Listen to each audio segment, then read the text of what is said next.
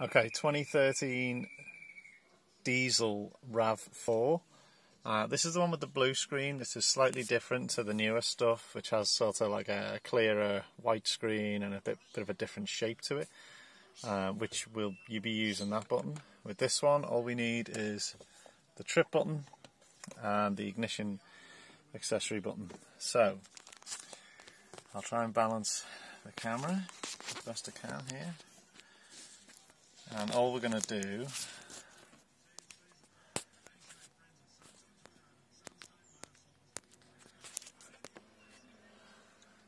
okay so press and hold the button.